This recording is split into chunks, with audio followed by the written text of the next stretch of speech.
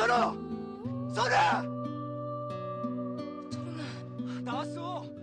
어디 있는 거야? 이선호! 철웅아,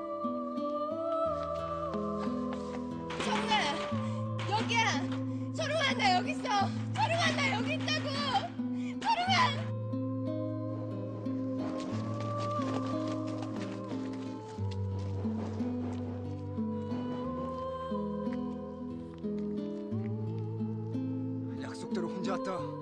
그러니까 이제 선호는 풀어줘. 무슨 소리? 풀어주다니. 뭐?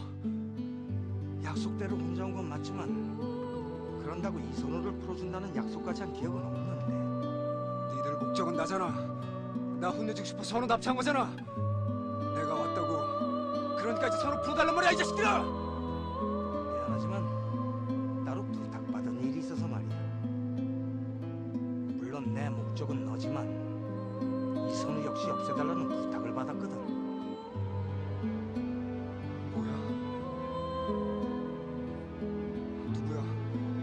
대체 어떤 시건방지 놈이 그런 부탁을 해?